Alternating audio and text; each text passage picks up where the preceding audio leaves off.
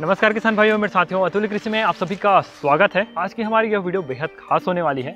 मेरे पास आप देख पा रहे हैं सनफ्लावर है।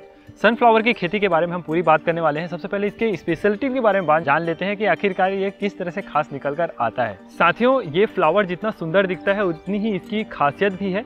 इसमें साथियों ऑयल कंटेंट के बारे में बात करें तो 50 टू 53 परसेंट इसमें ऑयल कंटेंट देखने को मिलता है और साथ ऑयल की क्वालिटी भी उतनी अच्छी है क्योंकि इसमें जो पॉली अनसेचुरेटेड फैटी एसिड पाया जाता है, जो कि हमारे स्वास्थ्य के लिए काफ़ी अच्छा रहता है, हार्ट के लिए काफ़ी अच्छा रहता है, जो हार्ट पेशेंट उनके लिए काफ़ी बेहतर ऑयल निकल कर आता है। जब हमारा पौधा जो है पूरी तरीके से मेच्योर हो जाता है तो कुछ इस तरह से नज़र आता है। इसकी जो साइड साइड के फूल की पंखुड़ियाँ जो होती है, वो पूरी तरीके से झड़ जाती हैं।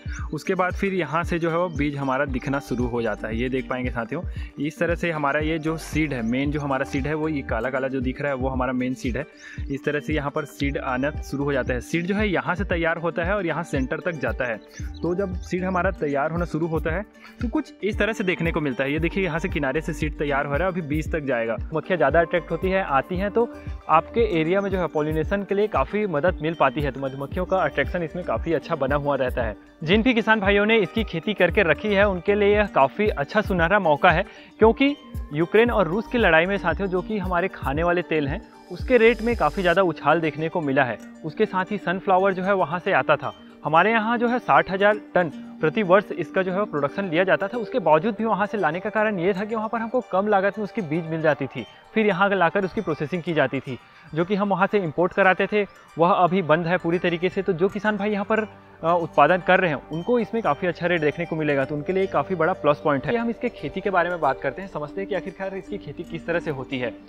इसका जो है साथियों, इसको आप तीनों सीज़न में कर सकते हैं, लेकिन बेस्ट जो कमर्शियल रूप में आप करेंगे तो आपको इस बात का ध्यान देना होता है कि इसके जब पौधे जो है वह, वो बढ़ते तक थोड़ा सा ठंडक इसको मिलता रहे। उसके बाद फिर जैसे इसमें फ्लावर आना शुरू हो, इसको गर्मी की आवश्यकता होती है। तो इस चीज़ को समझते हुए यदि हम बात करें, हमारे यहाँ इधर क्लाइमेट में छत्तीसगढ़, मध्य प्रदेश, इधर आसपास बात करें तो जनवरी, फरवरी में आप इसकी बुआई कर सकते हैं। उसके बाद फिर बुआई करने का तरीका यदि बात करें तो यहाँ पर आप फ़ील्ड देख पा रहे हैं ओपन फ़ील्ड में हुआ है। ओपन फ़ील्ड में यहाँ पर अच्छे से आप जो है वह इसकी जुताई कर देंगे। दो तीन बार इसकी अच्छे से जुताई कर देंगे। उसके बाद फिर इसमें बेसल डोज आप गोबर खाद डालते हैं तो काफ़ी बेस्ट रहने वाला है। इसमें जो है आप गोबर खाद पर्याप्त रूप आपके पास जितनी उपस्थिति है गोबर खाद की, उसको आप डाल दीजिए। इसमें बीज दर के बारे में बात करें तो आठ से दस के पर हेक्टेयर के हिसाब से होता है तो आप एकड़ में इसको निकाल सकते हैं। तो इस तरह से इसका बीज दर देखने को मिलता है। उसके बाद फिर इसमें साथियों आप जो है इसको कतार जैसे कि यहाँ पर रो टू रो लगाया हुआ है इन्होंने तो कतार से कतार की दूरी इन्होंने दो फीट रखी हुई है और उसके बाद फिर पौधे से पौधे की दूरी इन्होंने लगभग आधे फीट रखी हुई है। तो इस तरह से इन्होंने यहाँ पर पूरा प्लांटेशन किया हुआ है। प्लांटेशन करने से पहले इन्होंने धनिया की भी इसमें बीच बीच में लगा दी हुई थी तो शुरुआत में उन्होंने धनिया भी लगा कर रखा था इंटरक्रॉपिंग के साथ में तो उसका भी उनको बेनिफिट देखने को मिला है। फिर पत्तियों में उन्होंने तोड़ाई कर ली, उसके बाद फिर पौधा बड़ा हो गया। उसके बाद फिर साथियों, इसमें जैसे कि पानी की आवश्यकता भी अन्य फ़सलों की अपेक्षा काफ़ी कम लगता है। यहाँ पर किसान भाई पंद्रह पंद्रह दिन में यहाँ पर सिंचाई करते हैं। पानी भी इसमें एवरेज देखने को मिलता है। तो इस तरह से आप इसकी सिंचाई करेंगे। उसके बाद फिर इसमें बीमारियाँ तो किसी प्रकार की देखने को ही नहीं मिलती। उसके बाद फिर हम यदि फर्टिलाइज़र मैनेजमेंट के बारे में बात करें तो इसमें आप लोगों को खाद जैसे कि हम बात करें, आप इसमें एन जैसे कि रेशियो होगा। एन का साठ, अस्सी, साठ, इस तरह से के जो है प्रति हेक्टेयर के हिसाब से इसमें आप इसमें दे सकते हैं, सल्फ़र भी दे सकते हैं साथियों। सल्फ़र यदि आप जो है बीस से पच्चीस के प्रति हेक्टेयर में यदि आप देना चाहते हैं तो सल्फ़र भी इसमें आप डाल सकते हैं।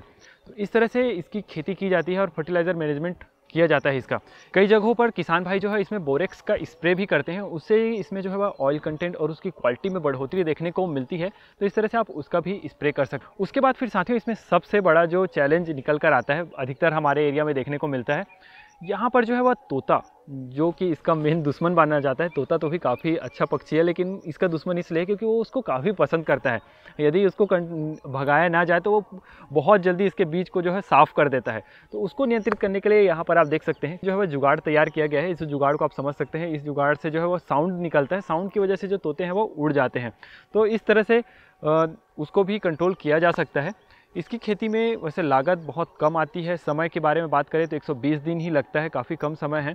उसमें इसमें प्रोडक्शन देखने को मिलता है। प्रति एकड़ में यदि इसमें हमको 20 कुंटल की जो है प्रोडक्शन देखने को मिल जाता है और प्रति क्विंटल जो है रेट में जैसे बात करें तो अभी जैसे रेट तो क्या बोल सकते हैं, लेकिन एवरेज यदि माने तो छः हज़ार रुपये देखने को मिलता है। तो इस तरह से आप अनुमान लगा सकते हैं। प्रति एकड़ में हम एक लाख बीस हज़ार रुपये इसमें प्रॉफिट कर पाएँगे इनकम कर पाएँगे। उसके बाद फिर इसमें जैसे कि लागत के बारे में बात करें तो लागत इसमें काफ़ी कम आते हैं बीज दर जो है वह आपके हिसाब से होंगे अलग अलग वेराइटीज़ के ऊपर डिपेंड करेगी और फिर आपके जो लेबर लगेंगे उसके ऊपर होगा। तो इसमें जो है वह एक अच्छा खासा इनकम किया जा सकता है साथियों। अन्य क्रॉप की अपेक्षा ये मुझे अच्छा लगा। साथियों, उम्मीद करता हूँ आप लोगों को इस वीडियो में अच्छी जानकारियाँ मिल पाई होंगी। यदि वीडियो पसंद आए तो वीडियो को लाइक ज़रूर करें और साथ ही अन्य किसान भाइयों के साथ शेयर ज़रूर करें।